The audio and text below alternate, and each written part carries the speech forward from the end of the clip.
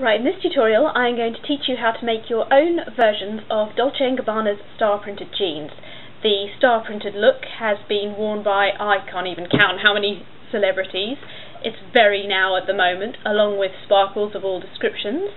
Um, the jeans that I'm going to copy have been worn by one of my favourite actresses, Evan Rachel Wood, and also I believe by dancer Julianne Hough recently in Elle magazine.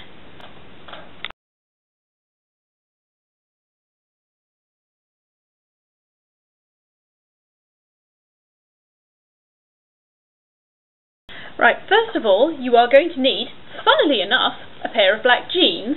I'd personally recommend jeans of the stretch, skinny persuasion to get an authentic look.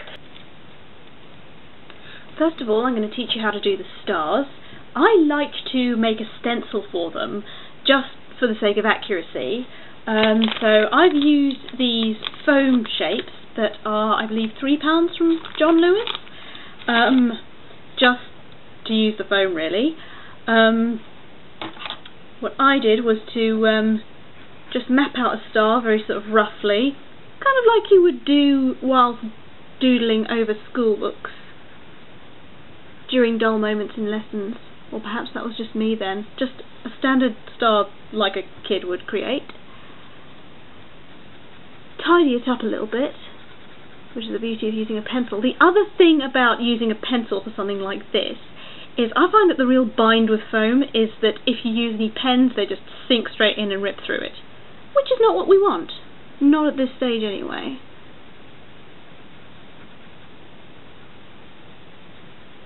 So I've made a medium-sized star. I'm just going to show you how to make the smaller star as well.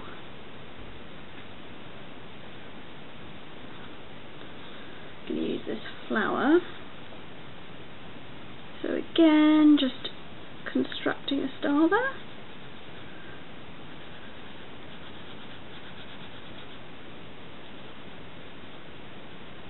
Fattening out the edges a bit.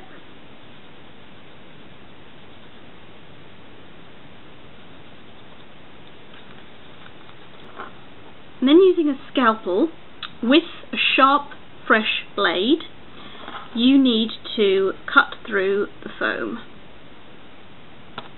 whilst trying not to do the same to your fingers.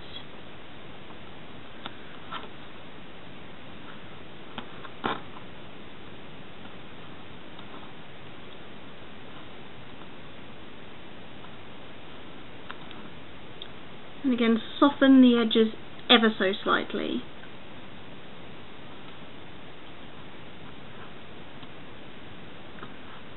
Which I'll demonstrate once this is properly cut out.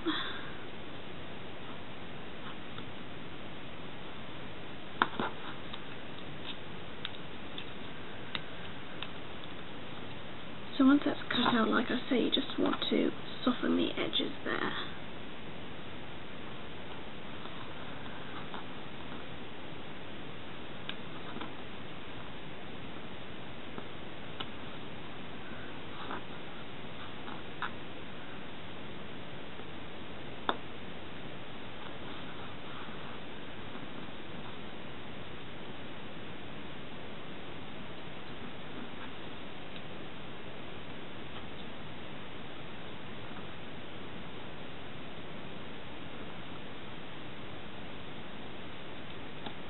Do the same with a smaller star.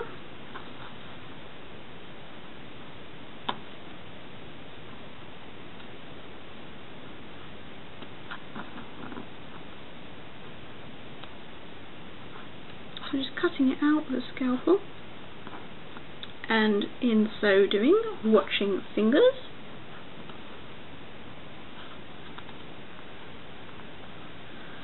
so that they don't get lacerated as well.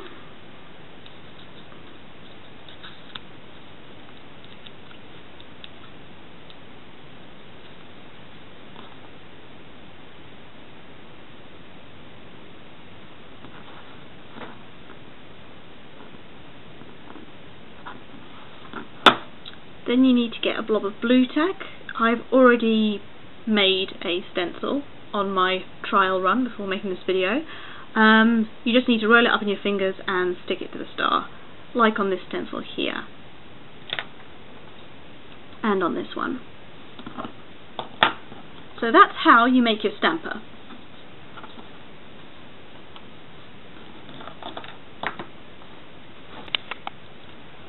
Next you need some fabric paint, white fabric paint. I use this uh, fabric paint by Dylon, which you can get for £2 from most good fabric and craft um, shops. Give it a good shake. Open it and using, I like to use the paint on the lid, which has landed from the shaking. Um, just dip your stencil in there and scrape off, I don't know if you can see on here, any excess paint because otherwise it'll smudge. You want to keep it to proper full coverage but a thin layer and just stamp it on your jeans like so.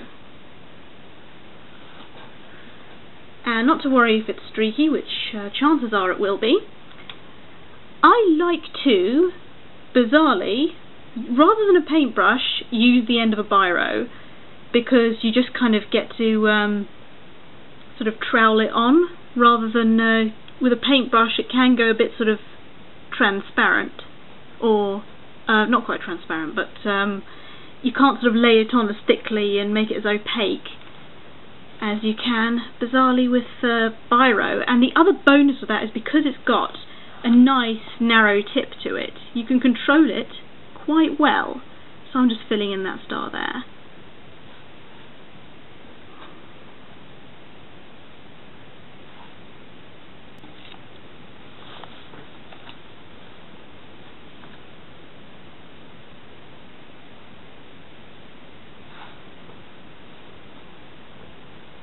So apply it generously to the nib of your pen, just dipping it in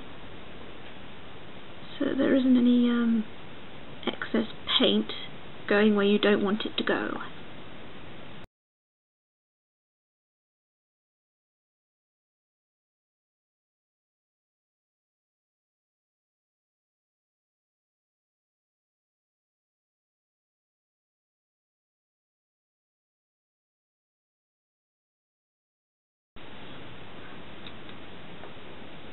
And just cover the side of the jeans with that until you have something that looks like this. As you can see I've done the excess paint work around the edges and around the pockets. I'll show you how to do that next. For the final part, which is the exciting bit where we get to slather on the paint like it's going out of fashion, which this star thing shouldn't be, um, we have to stuff the jeans with, I'm using a plastic bag, anything that's not porous, which means things don't leak through it, um, because we're going to be handling a lot of paint. And for that, we need another pot of Dylon fabric paint. Give it a nice shake, and we need a small pot to put it in, like this, which was which I managed to pick up from the supermarket for 25p, so thankfully it didn't break the bank. Slop it in there. There you go. And I like to use this pliable spatula. This was about £2.75 I believe. Um, again from a supermarket. Um, believe it or not, it's perfect for this particular job. Not just because it's pretty, but because of this pliable sort of rubber textured bit here, which is just great for sort of just using like a paintbrush but a paddle brush at the same time, if that makes sense. Um, so just to get that painterly effect of the original, we're just going to slop it around here and make a reasonably controlled mess is the best way I can describe it.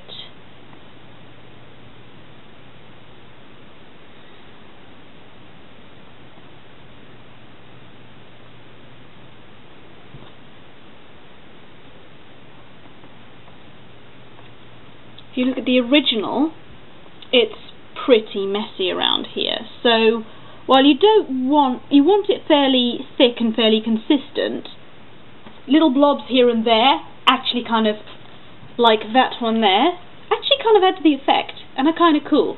So that's the look you're aiming for. So just bending your spatula, coaxing it around, but still going kind of crazy, is the way to go with this one.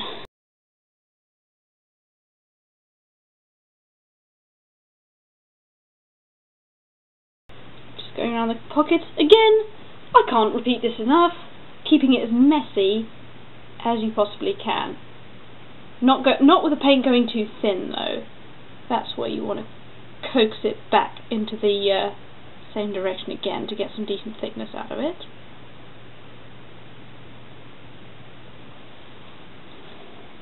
And carry on along the sides as well as the belt.